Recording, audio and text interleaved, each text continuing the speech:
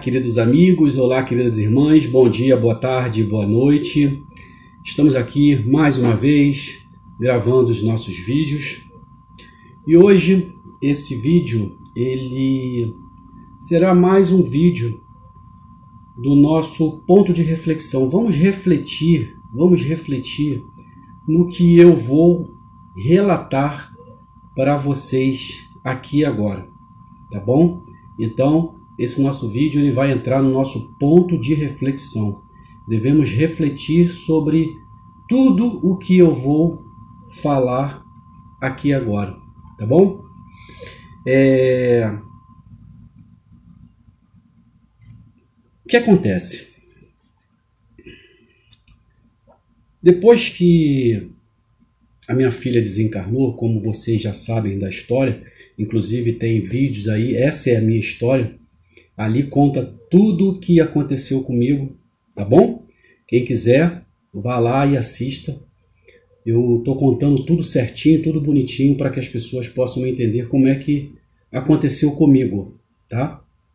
Então depois desse acontecimento, né, do desencarne da minha filha, da antecipação dela ao plano espiritual, é, eu, juntamente com a minha esposa, é, nós percebemos que fora da caridade não há salvação, ok? Fora da caridade não há salvação. Que deveríamos ter o discernimento de ajudar as pessoas sem o toma lá da cá, sem a barganha. E dessa forma, nós demos o início a uma nova caminhada em nossas vidas. Essa caminhada ela vem ajudando a Andréia, minha esposa, e também me ajudando. No que diz respeito no ato em que você coloca a sua dor no bolso e vá tratar de feridas, das dores, das lágrimas, do sofrimento do próximo, nós, eu e a minha esposa Andréia, temporariamente nós esquecemos da nossa dor. E isso nos dar força para que possamos ajudar aos nossos irmãos. Então, a nossa caminhada hoje é ajudar, ajudar e ajudar. Não importa como. A ajuda, ela pode ser material, né? Você pode doar uma uma cesta básica, você pode também doar dinheiro, ok? Você pode doar dinheiro, mas também você pode doar o seu tempo, o seu ouvido, o seu abraço, o seu aperto de mão, a sua atenção, porque isso também faz parte da caridade. Mas as pessoas, hoje em dia, a caridade para elas somente é a parte financeira ou material. Então, indo de encontro a tudo isso no que diz respeito à ajuda, nós, eu e a minha esposa, pensamos e estamos fazendo os nossos atendimentos fraternos. Alex, como é que funciona esse atendimento fraterno? Ele atende da seguinte forma: nós estamos sempre olhando o nosso Instagram e ali chega pessoas. Deixa eu só tirar esse volume aqui, senão ele vai acabar atrapalhando. Deixa eu ver se vai tirar. Então ali nós temos o canal do Instagram e ali chega para gente tanto para mim quanto para minha esposa, mais no meu, né, no meu Instagram, pessoas que entregaram seus entes queridos. Filho, filha, pai, mãe, sobrinho, tia, namorado, avó, avô, cunhado, cunhado, qualquer tipo de qualquer tipo de entrega. E é nessa hora que nós entramos em ação. Como foi dito lá atrás, a caridade não é somente financeira e material, e sim atenção, amor, carinho e respeito. Então, de início, tendo como isso como uma base, né, tendo isso como uma base do nosso trabalho, que é o atendimento fraterno, que eu acho muito importante o atendimento fraterno, você poder conversar, você poder ouvir mais do que você fala, isso dá do outro lado para a pessoa uma válvula de escape. Alguém pode me ouvir. É como se, vou dar um exemplo. É como se eu é como se eu fosse uma única casa no deserto. Nessa minha casa estaria eu e a minha esposa, com uma geladeira cheia de água fresquinha, geladinha. As pessoas vinham caminhando por esse deserto procurando alguém para poder pedir um copo d'água. Mas ali no deserto não era só a minha casa. Existe, é, existia, existe mais casas. Só que essas casas, por eles, pelos moradores, está com aquela aquele pensamento que caridade é somente material, é somente dinheiro, as casas ficavam invisíveis, vamos colocar assim. Então, as pessoas iam caminhando, caminhando, caminhando, caminhando, caminhando. Por quê? Porque ela queria falar. Então ela chegou até a minha casa. Quando ela chegou na minha casa, ela falou para mim: Me dá um copo d'água? E eu, com a minha geladeira cheia d'água, eu poderia falar sim ou não. E aí eu vou naquele ato, eu ofereço um copo d'água. Quando eu ofereço um copo d'água, é como se fosse eu fazer um atendimento fraterno. Ouvir aquela pessoa. Se eu falasse que não, que não tem água para dar, a minha casa ela ficaria também invisível. Você está me entendendo aonde eu quero chegar? Então eu não quero me colocar como um ponto importante na vida de ninguém. O que eu quero é poder ajudar, é poder ser um ouvido, dar um abraço, um aperto de mão, dar atenção, dar o meu tempo para aquela pessoa. Então hoje, por exemplo, eu vou citar um exemplo hoje, eu já fiz quatro atendimentos fraternos. Um de uma hora, outro de uma hora e meia. O último que eu fiz agora, eu acho que foi 28 a 30 minutos. De uma filha que entregou o pai. Se ela assistir esse vídeo, ela vai saber do que eu estou falando, é dela. Ela estava me passando mensagem pelo Instagram, desesperada, falando sinceramente, não estava falando coisa com coisa, não estava entendendo. E eu falei para ela, eu posso te ligar? Eu tentei ligar várias vezes, mas como ela trabalha, ela trabalha como é, é, com idosos, e ela falou, espera um pouquinho que daqui a pouco eu ligo para você. Eu falei, ok. E ela me ligou. Deixei ela falar de início, ela falou bastante, falou, falei, o que que está acontecendo? Aí ela falou, falou, falou, falou, falou, falou, falou, e eu fiquei ali ouvindo, dando a minha, a minha atenção, e na hora que eu estava ouvindo, eu estava fazendo as minhas orações, pedindo para a espiritualidade comparecer àquele local para poder ajudá-la, para dar o conforto, para dar a paz. Ela chorou bastante, chorou muito. E depois, quando ela se sentiu aliviada, eu comecei a conversar com ela.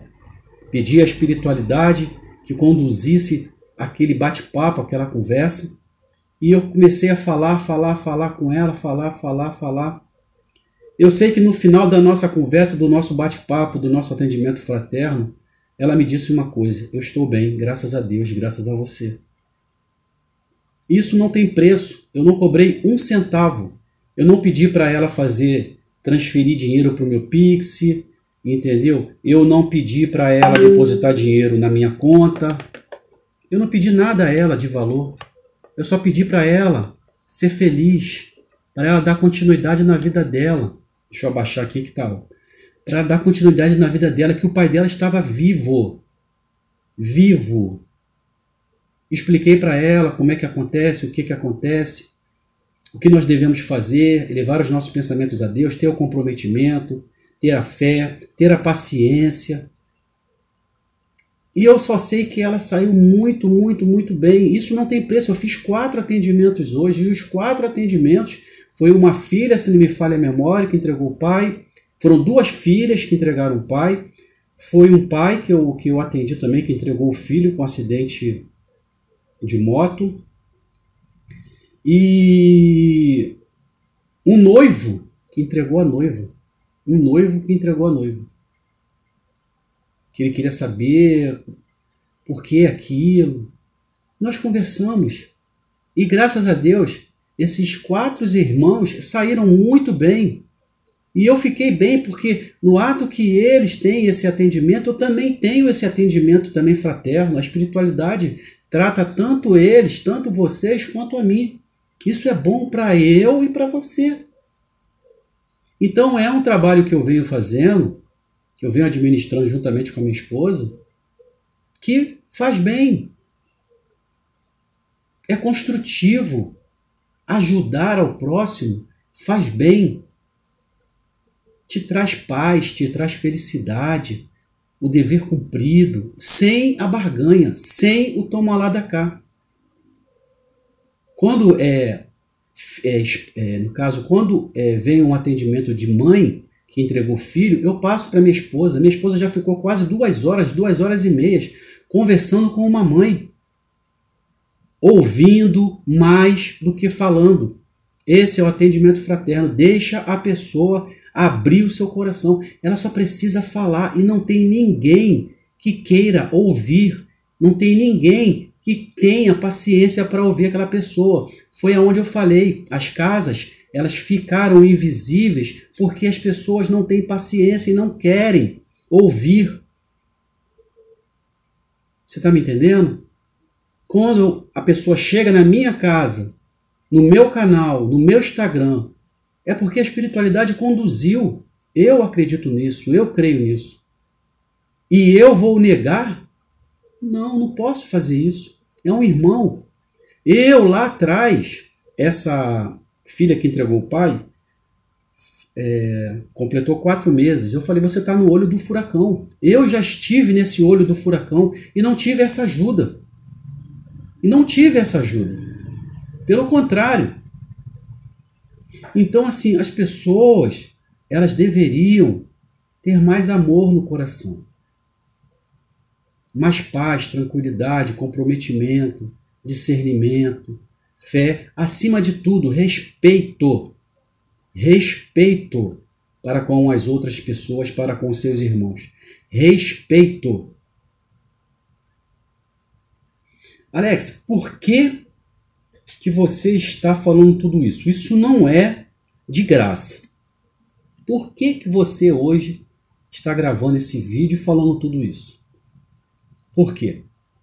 Porque no meu trabalho, de atendimento fraterno, quando chega para mim, eu costumo colocar frases edificantes, frases construtivas, frases de amor, de carinho no, no Instagram, no comentário das pessoas que me pedem ajuda, ok? Ok. E numa dessas, em uma dessas frases nos comentários, eu hoje tá? Me deparei mais uma vez, pela segunda vez, tá? Isso aconteceu. Duas coisas aconteceram pela segunda vez. Eu já, eu já recebi alguns comentários lá atrás com relação ao desrespeito. Desrespeito, ok? Inclusive, os meus comentários foram denunciados. E o Instagram me bloqueou por acho que era quase 90 dias. Eu falei, meu Deus do céu. eu fui bloqueado, denunciário, e eu fui bloqueado porque eu estou fazendo um trabalho de amor, de caridade. Olha a que pontos nós chegamos. Coração de uma pessoa que não acredita no Espiritismo, que não tem respeito acima de tudo, que não está sabendo usar a sua educação, que eu tenho certeza que o pai e a mãe deu. Ela vai lá nos comentários, me esculacha e denuncia. E aí eu tomo um gancho de 90 dias. Graças a Deus, esse gancho eu acho que foi revisto, visto, sei lá, Deus tocou no coração lá e eles me deram só dois dias e eu voltei a fazer o meu trabalho. E hoje, para minha surpresa, eu me deparei com o meu Instagram de novo, nessa parte de comentários, essas coisas de postagem, é, denunciada, ok? Que eu entrei lá, verifiquei, foi denunciado, ok? E tomei mais um gancho eu não posso publicar, eu estou eu, eu, eu, eu fui interrompido de fazer o trabalho do bem. Ok? Não estou aqui me vitimizando, não. Não é isso, não, gente. Não estou me vitimizando, não. Ok? Não gosto disso. Só estou relatando o que, que está acontecendo. Para você ver como que não é só a guerra material, é a guerra espiritual. As coisas acontecem. Mas eu não vou desistir, vou continuar o meu trabalho. Orando, pedindo a Deus para que me dê força, paz, tranquilidade, tá bom? Então, hoje eu me deparei mais uma vez com o meu Instagram denunciado e bloqueado. Eu não posso fazer comentário, não posso fazer postagem, eu não posso fazer nada. Está parado o trabalho, ok? E chegou para mim esse seguinte, esse esse esse comentário aqui. Olha só, hein? É, misericórdia.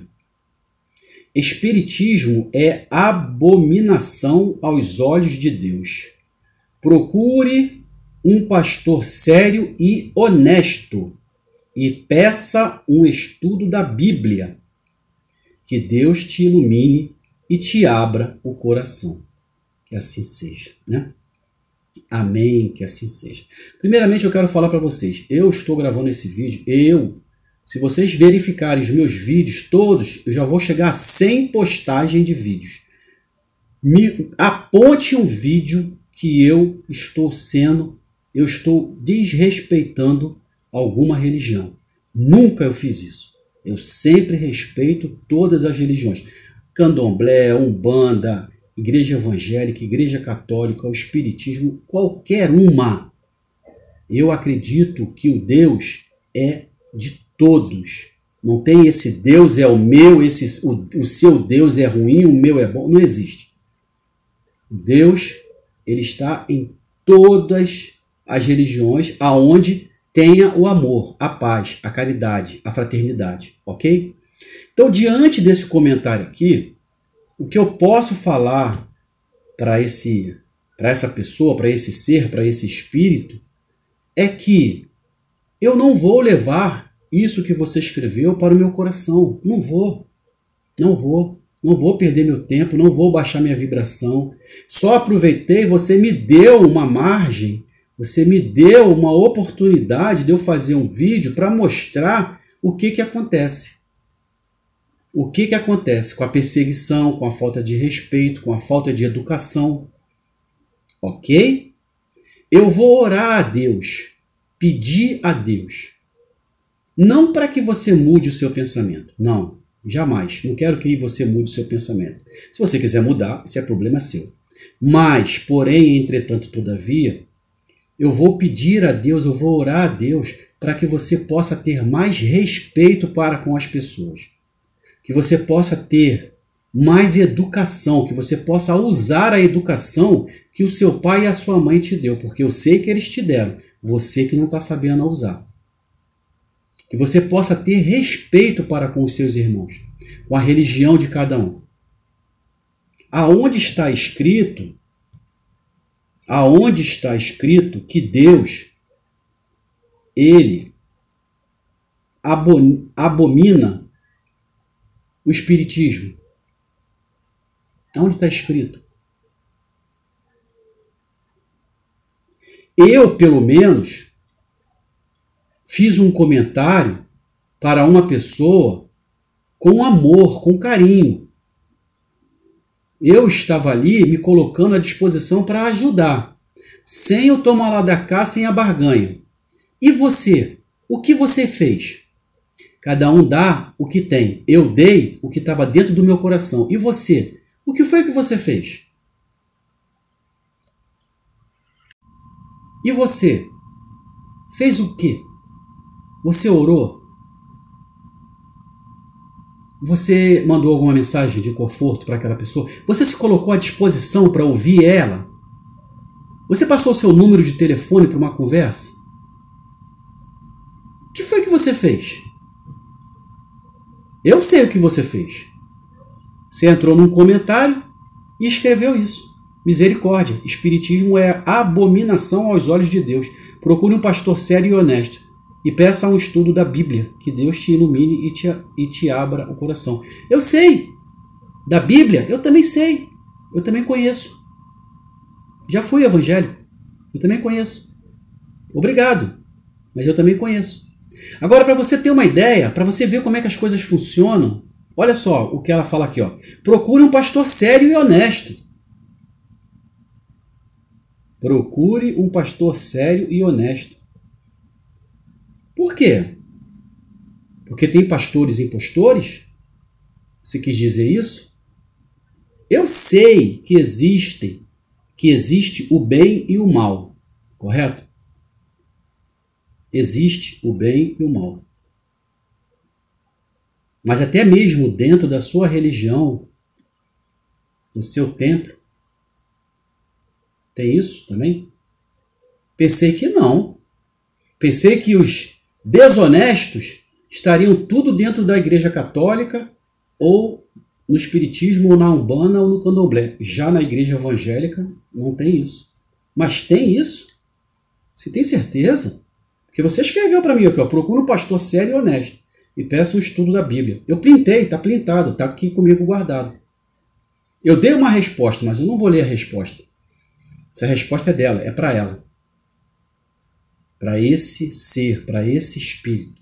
Eu dei a minha resposta com todo amor, com todo carinho, com todo respeito. Vocês podem ter certeza disso.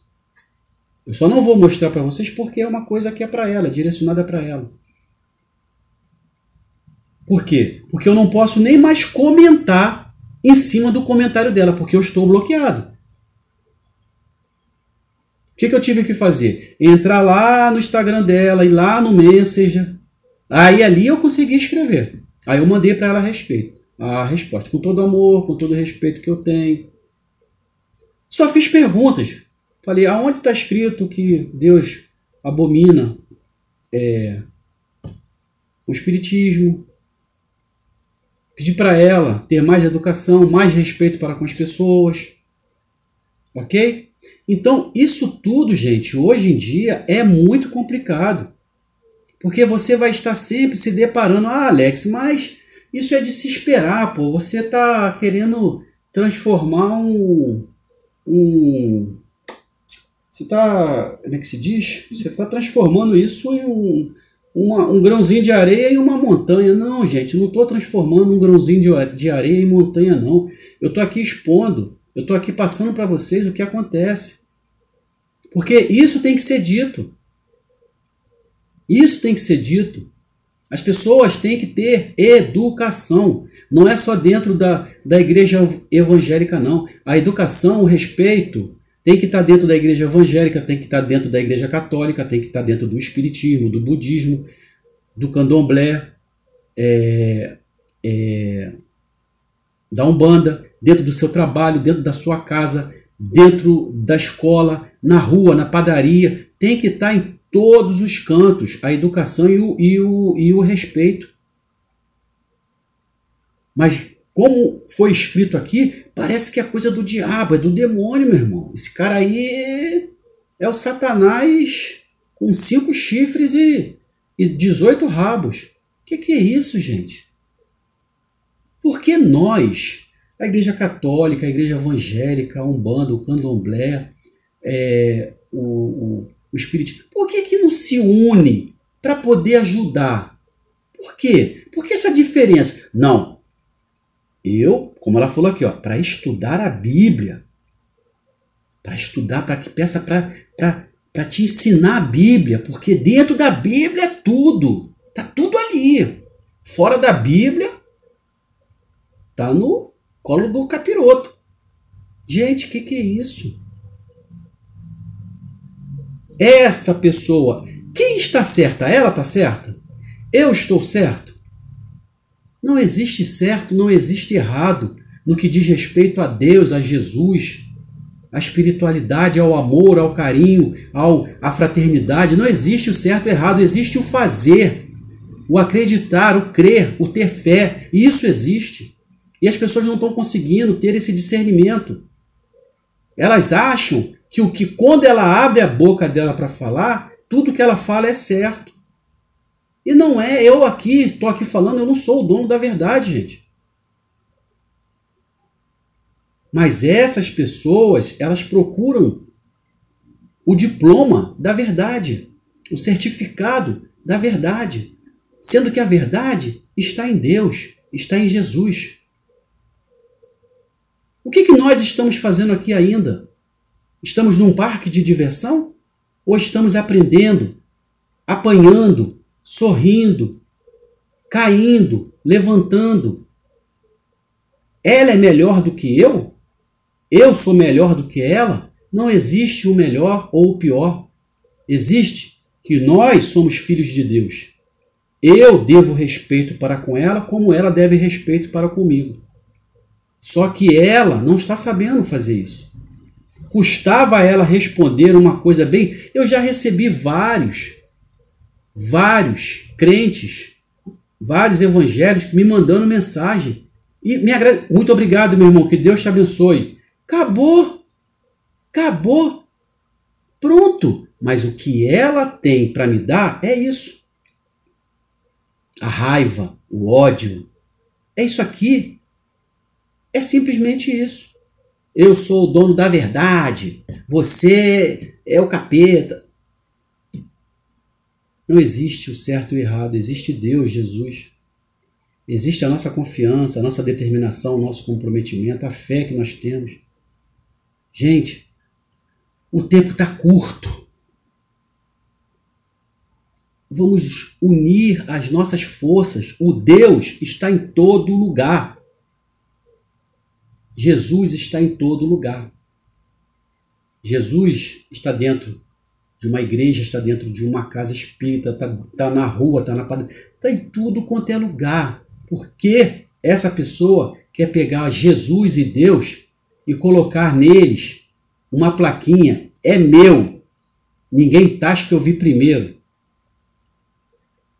Não é dessa forma, gente. Com esse pensamento, você não vai chegar a lugar nenhum. Você vai ficar estagnado. Vamos unir as nossas forças. Vamos elevar os pensamentos a Deus, a Jesus, a nossa Mãe Santíssima. Se você é evangélico, se você é católico, da Umbanda, do Candomblé, do Espiritismo, respeite o próximo. Respeite, tenha educação, saiba se expressar, saiba falar. Não precisava esse comentário dela. Você tenha certeza, meu irmão, que eu não vou levar isso para o meu coração, eu não vou baixar minha vibração. Simplesmente você só me deu um vídeo. Você me deu esse vídeo para eu estar tá falando sobre isso. Então, e ainda ela vai mais além. Depois, ela me manda de novo. Jesus Cristo é o Senhor. Eu sei. Jesus Cristo é o Senhor. Jesus Cristo é meu irmão maior e mestre. Jesus Cristo é o meu Salvador. Eu sei disso. Jesus Cristo é o seu Senhor, é o seu Salvador, é o seu irmão. Não dá para entender. Mas, porém, entretanto, todavia, é o que ela tinha para me oferecer.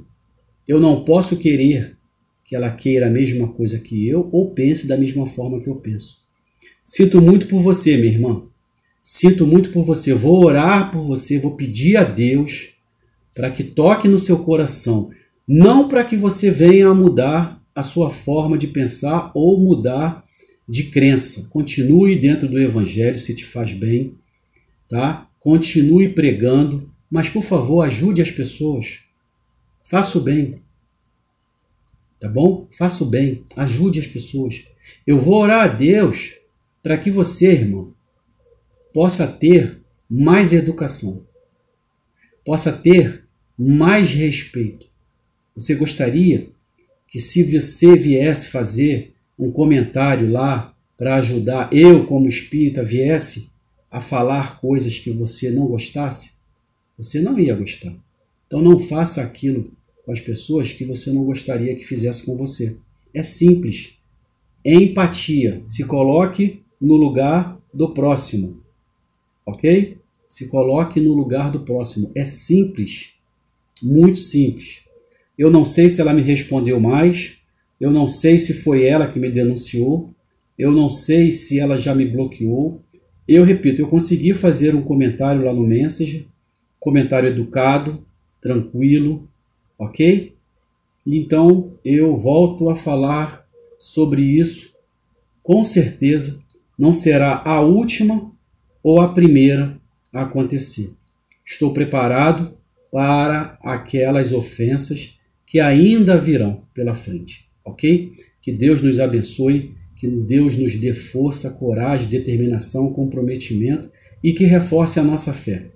Peço a todos que compartilhem os nossos vídeos, ok? Que se inscreva no canal. No ato da inscrição no canal, é, ative lá o sininho de notificação para todas, porque quando eu subir vídeos no YouTube, ele vai estar tá te informando dos vídeos novos, ok? Nós, eu comecei esse canal em dezembro, já final de dezembro, e nós já estamos aí com quase 100 vídeos postados, bastante vídeos, tá bom? E eu peço a todos, por favor, deixe o seu like, deixe o seu, deixe o seu comentário.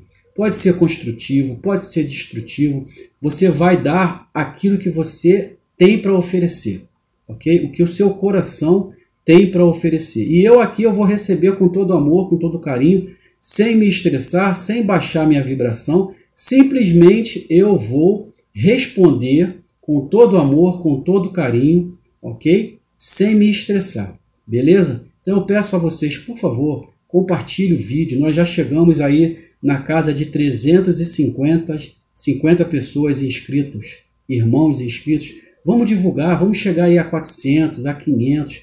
Vamos passar para aqueles irmãos que precisam. Nesse exato momento que eu estou falando com você, tem um irmão, tem uma irmã entregando um ente querido, que está precisando assistir os vídeos, conversar, Volto a repetir, eu me coloco à disposição para poder bater um papo com as pessoas, fazer o atendimento fraterno, ouvir um pouco as pessoas, ok? Nesse meio termo aí a gente faz a nossa amizade, a gente troca o WhatsApp, a gente está sempre se falando, mandando é, mensagens edificantes. Quando a pessoa precisa de uma oração, ela manda o nome completo da, da pessoa, do ente querido que está passando por necessidade. Nós estamos colocando nas nossas correntes de orações Ok? Então, assim, tudo é válido, gente. Se for fazer com coração, se for fazer com para o bem, com amor, com carinho, com respeito, com educação, é válido aos olhos de Deus. É válido. Porque eu, eu não acredito nisso aqui, ó. Isso aqui eu não acredito. Misericórdia, espiritismo é abominação aos olhos de Deus.